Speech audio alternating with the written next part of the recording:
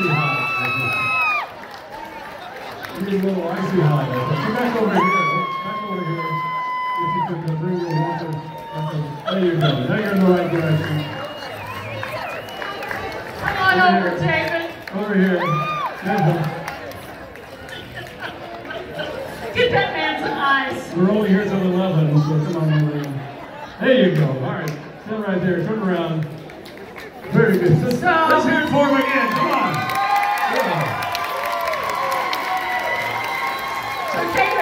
I got a hurry. I can't. Are you glad it's over, or you wish you could do it again? Uh, I'm done. Thank you.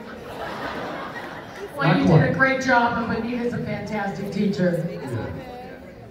Let's turn around to the judges and see what your scores are. Okay, yeah, let's take a look at the judge. Let's go with Amanda first of all this time. First of all, just give us your comments, then we'll go back at the end and you can hold us your scores. All right, Amanda?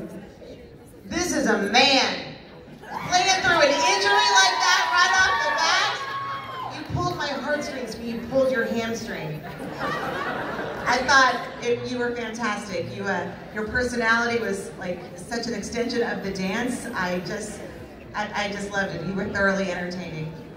All right, very good. How about Douglas Beal? What are your comments? comments. Hats off to your hard work and for your dedication. Very good.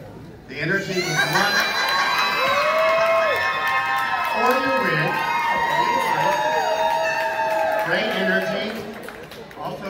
Also to Bonita for the great choreography. Very expressive. I really enjoyed your routine. And John, John Lohan. It looked, it was a really fun routine.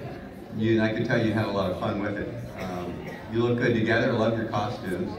Um, and uh, David, I could tell you, you put everything you had into it. good job, good job.